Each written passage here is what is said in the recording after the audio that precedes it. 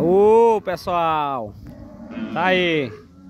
Mais um progresso do governo da atualidade, dia 28 de outubro de 2023 Vila Renascer, município São Félix do Xingu, extensão Apitereua A vila está sendo evacuada, o povo em desespero, sem ter para onde ir Porque o prazo está se esgotando, só tem até o dia 31 para sair com seus bens. Os que não sair vai sair de barra de taca e perder os bens multas, igual já multaram meio mundo de CPF aqui, rebentaram a vida já de muita gente. O povo está assombrado, correndo desesperado.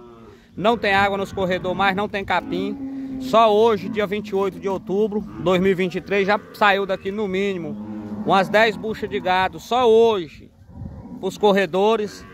O povo em desespero, em desespero, sem saber o que fazer. Só hoje. Agora, só aproximadamente umas 4h40 da tarde já passou no mínimo umas 10 buchas de gado. O povo correndo louco, louco, louco. Mas é isso aí mesmo, pessoal. Isso é normal no país que nós vivemos, né?